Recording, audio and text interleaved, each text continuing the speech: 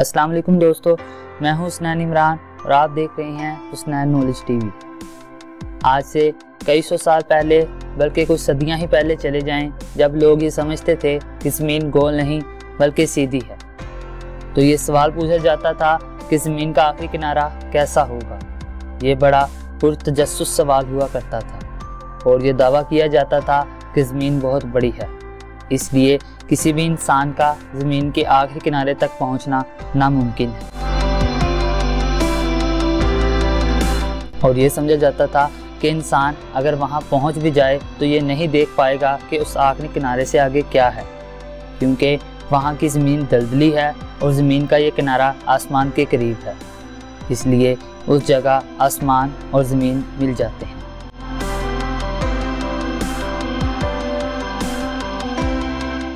मुख्तलिफ़ ज़माने में मुख्तलिफ़ किस्से मौजूद हैं। और एक ज़माने में ये ख्याल किया जाता रहा है कि हज़रत जुनकुरनैन वो वाहद इंसान हैं जिन्होंने ज़मीन का आखिरी किनारा देख रखा है।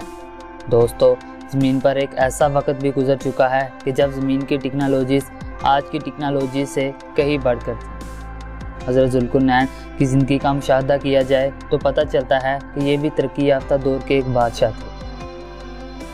बहरहाल, असल मौजू पर आते हैं। दोस्तों, अब जबकि हम जानते हैं कि ज़मीन गोल है और बाकी सियारों के साथ सूरज के गिर्द चक्कर लगा रही है तो आखिरी किनारे की इतला यहाँ ही ख़त्म हो जाती है। वो अफसाना जो सदियों इंसान सुनाते रहे हैं, इंसान ही के इलम ने इस बात को गलत साबित कर दिया। और दुनिया पर दो ऐसी जगह जिनके महल वकू की वजह से इन्हें दुनिया का आखिरी किनारा करार दिया जाता है, उसके बारे में बात करते हैं। नार्वे के शुमाल का मकाम एंड ऑफ़ द वर्ल्ड कहलाता है। इस मुकाम पर नार्वे दुनिया के 20 फ़ीसद मालिक समुंदर बहरे ओकियानूस से मिलता है और खुशकी का यह सिलसिला ख़त्म हो जाता है। दुनिया भर से आने वाले इंसान इस हिस्से पर आने को अपनी खुशकिस्मती करार देते हैं। रूस का शुमाली इलाका, जो कि यमन कहलाता है, यहाँ दर्जा हरारत माइनस नब्बे जहाँ पहुँचता है। यह इलाका दुनिया का अख्ताम करार दिया जाता है यहाँ दुनिया में कुदरती गैस के ज़खीरों में से सबसे बड़ा ज़खीरा है।